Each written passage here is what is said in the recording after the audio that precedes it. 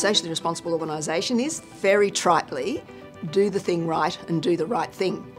And no matter what we set out to do, uh, it must be the right thing. It must be the right thing for our franchisees, it must be the right thing for our um, customers, it must be the right thing for our staff. And that filters into everyone's thinking. So it's do the right thing and do the thing right.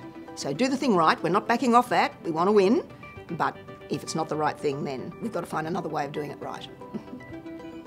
but I guess socially responsible uh, organisations also contribute to their community, uh, and, uh, and we certainly have been involved in uh, a great number of other community organisations like the Leukemia Foundation, like the Slip Slop Slap, the, um, the Kids Alive, anything to do with um, health, health prevention. Um, we're partners with the Asthma Foundation. Uh, we partner with um, Diabetes Australia. All those sorts of other communities, to me, is a socially responsible thing to do.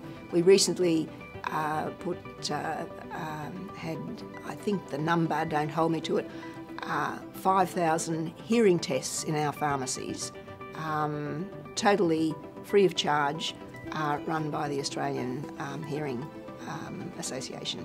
Uh, out of those, for example, uh, out of 20, we would pick up six people who should be referred to um, have a hearing test.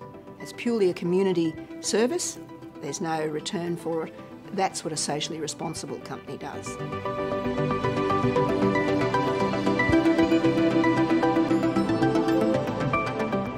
Well, I'd like to say corporate social responsibility is very important, given that that is one of my major roles here at Wesfarmers is um, sustainability. So it is important. I think it's getting more important. There's a lot more focus.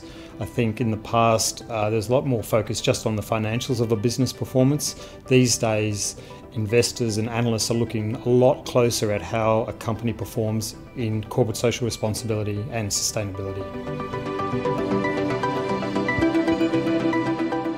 I think it's very important, and, I, and, the, the example that I reflect on there is after the floods of, of 2011. I, I, think that uh, being, being socially responsible for, for, for, what you do and how you help to how you help a community in uh, in a time of need is is something that, that, that that's a lot more that, that is a lot higher on the agenda. We have a foundation at, uh, at RBS Morgans that that, uh, that has been very generous uh, after the floods, but that, but that is something that's very important to us to to, to, to help the community and to, to in, and in that situation help the community rebuild after a, after a very difficult time.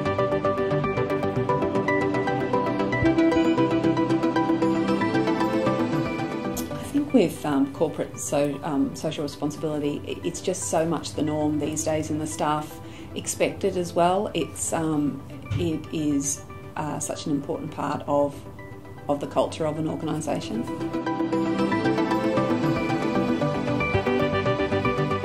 In terms of social responsibility, uh, I think every corporation has a responsibility for that. So for Merlo, St Vincent de Paul Society has, uh, has a big impact for us because Mum used to work for Vinnie's, still does. And so we have been, they've been a, a major recipient of, of, uh, of, both cash and time in, in what we do. Uh, we're big on the um, homelessness front and uh, I was I, do the CEO sleep out every year. Uh, we have a number of other charities, OzHarvest, uh, Beacon Foundation, there's, you know, and quite a few others that we support and actually work in.